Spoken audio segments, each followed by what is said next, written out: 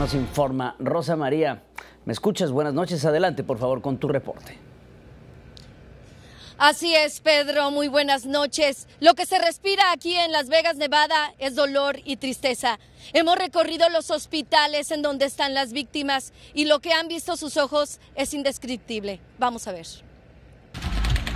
Fueron 10 minutos de terror. Marcela, que trabajó como técnico del evento, asegura estar viva de milagro. Cuando justo nos fuimos a la calle, vimos las balas, los blancos y las balas, las balas cayendo al piso.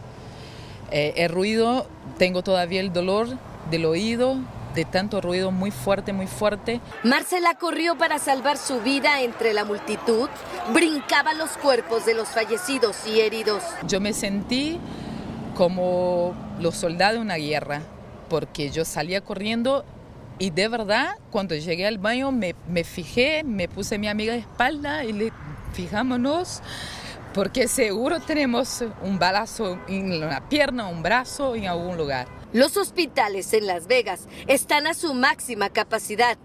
Enfermeros y paramédicos no se daban abasto para atender a los heridos. Se necesita mucha sangre para poder salvar vidas.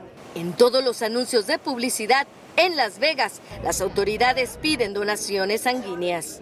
Nadia, que también estaba en el lugar de la masacre, no deja de orar por la salud de las personas heridas que conoce. Tenemos unos compañeros heridos, pero gracias a Dios también están en su casa. Quienes sobrevivieron a esta masacre aseguran dejará un daño psicológico. Ahora uno cuando ya se levantó en la mañana es todavía no lo puedes superar porque fue algo tan increíble y de haber estado tan cerca es aún peor.